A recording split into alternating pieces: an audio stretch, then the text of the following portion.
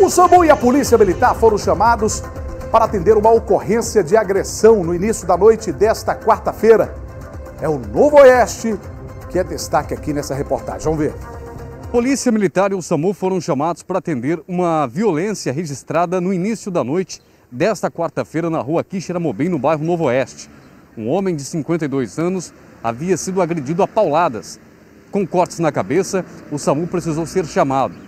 A Polícia Militar também esteve no local e acompanhou o atendimento do Serviço de Atendimento Móvel de Urgência.